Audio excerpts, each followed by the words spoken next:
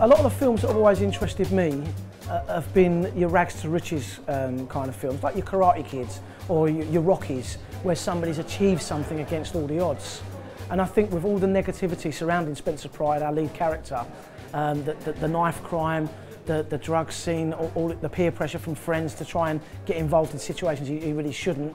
I just think the attraction for telling a story of somebody that was had the, the wherewithal to get themselves and drag themselves out of a situation. Recognise him, do you? He's helping Dow refine his game. More of a fan of sort of the, the old classic uh, snooker players, um, the ones who've got a bit of infamy around them, people like Alex Higgins and um, you know, Jim White and people like that, people, the old rock star snooker players. Um, or Ronnie O'Sullivan maybe sort of carries that into the modern day. But yeah, a bit of a fan. Well, I hear you feel pretty confident about the tournament.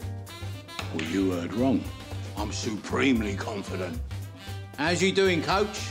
Yeah, he doing well. Yeah, I'm very enjoy to the. I go before I do the movie before in China and uh, the, the first time in UK. Uh, I'm very enjoy and uh, I just relax. The, the show my my best different job, yeah. And Yeah. this for my my, my, my job, this snooker. Yeah. But before it's like talking and uh, just show anybody, yeah. Do you know what? I think Break's a lovely story, and what really attracted me to it was we don't get many white working class stories.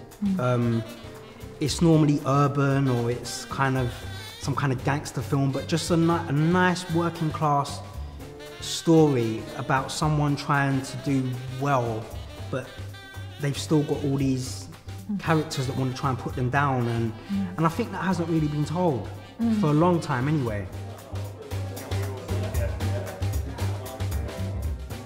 Spencer, this is Jack. Yeah, I know who you are, Jack. Hi, Spencer.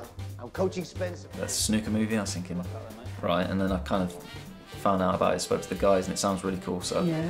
I think it's a great idea, a great script. Listen, look, Chan, I've, I've come here, but I can't play today, mate. It's pointless. It's just, it's very real. I think actually for Spencer it's about becoming a man. Um, and not in sort of the classical sense of he's got to fight something or, you know, win some sort of, you know, ego contest or what have you. He just has to decide that he's going to take responsibility for his life. And I think that's what the film's about, really.